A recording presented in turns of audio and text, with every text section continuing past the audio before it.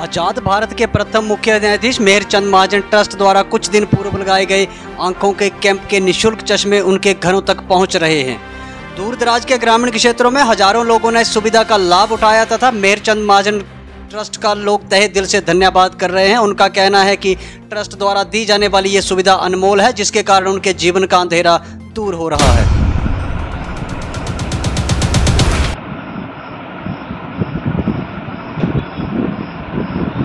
धन्यवाद आनंद जी आपने एक अ, मेरचंद ट्रस्ट जी का चश्मा आज मेरे को दिया।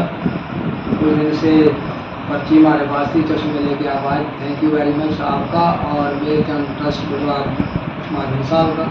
Thank you thank you very much धन्यवाद मेरे चंद महाजन ट्रस्ट जो मुझे मत हुए प्राप्त करूँगा घर पे ही करे और बहुत बहुत धन्यवाद करना चाहता हूँ जो मैं जो हर दिखता हूँ तो बढ़िया